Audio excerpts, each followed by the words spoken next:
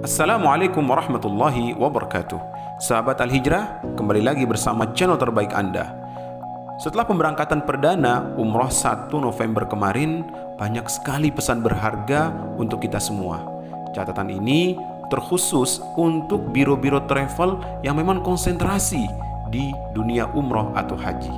Pertama, pastikan visa umrohnya ready, PDF dan hard copy. Yang kedua, pastikan juga PCR-nya ready. Yang ketiga, PCR itu harus hard copy karena akan ditempel stiker oleh petugas Kementerian Kesehatan Saudi. Yang keempat, pastikan tiketnya sudah siap. Yang kelima, pastikan full asuransi termasuk asuransi COVID-19. Yang keenam, landing di terminal baru Jeddah. Keimigrasi dan bagasi harus naik Skytrain. Ketujuh, mengisi form kesehatan dan disclaimer dibagikan oleh cabin crew. Jangan lupa isi sebelum turun pesawat biar tidak numpuk antri di terminal.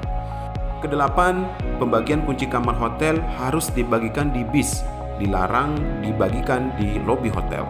Kesembilan, airlines dan bis masing-masing memberikan safety kit, yaitu masker dan seluruh perlengkapan lainnya. Kesepuluh, tiga hari karantina kamar. Ingat ya, kamar, bukan keluar hotel. Jadi kamar aja nggak boleh keluar. Jadi keluar kamar aja tidak boleh, apalagi keluar hotel. Yang ke-11, sesampai di Saudi, jemaah akan diswab. Lokasi swabnya pun cukup jauh, yaitu di rumah sakit yang ada di daerah Shumaisi. Lumayan jauh memang dari perhotelan, tetapi ada kebijakan baru dari Saudi bahwa pemerintah mengizinkan swab di hotel masing-masing oleh karenanya, sekarang ini semua hotel wajib menyediakan ruangan untuk swab massal. Kedua belas, perusahaan Telkom Saudi Arabia, yakni STC, akan datang ke hotel membagikan kartu SIM card dan mereka mewajibkan seluruh jamaah mengunduh aplikasi yang ditentukan yaitu bertujuan untuk memonitor jemaah. 13. Hotel wajib punya satu lantai untuk isolasi jika ada jemaah yang positif kalau kondisinya parah, maka akan segera dibawa ke rumah sakit. 14. Hotel wajib bintang 5. Ingat ya, bintang 5 dan itu harus di daerah Markaziah, lokasi yang berdekatan langsung dengan Masjidil Haram dan Masjid Nabawi. Bintang 3 dan 4 sampai hari ini belum diperbolehkan.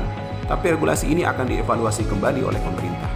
Ke-15, setelah semua sudah selesai tiga hari karantina, baru jemaah boleh melakukan umroh dan itu pun dibatasi 3 jam. Demikian informasi ini, mudah-mudahan bermanfaat untuk seluruh biografer travel Indonesia. Tetap semangat dan selalu ingatkan jamaah ketika akan berangkat untuk menaati peraturan-peraturan yang diterbitkan oleh pihak Saudi Arabia. Sekian, Assalamualaikum warahmatullahi wabarakatuh.